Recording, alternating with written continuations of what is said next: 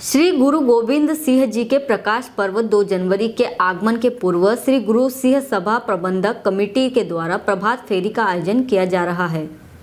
प्रभात फेरी गुरु का जस गान करते हुए बस स्टैंड क्षेत्र से होते हुए वापस श्री गुरुद्वारे साहेब पहुंचकर समाप्त हुई, जहाँ पर संगत के लिए नाश्ते के लंगर की सेवा की गई।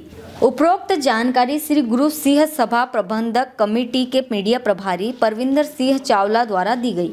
खरगोन से अजय तिवारी की रिपोर्ट।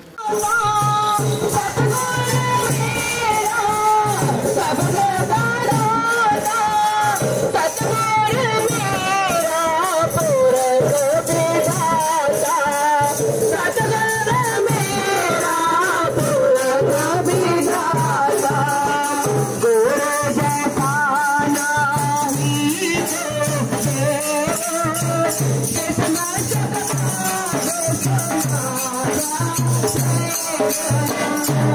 you.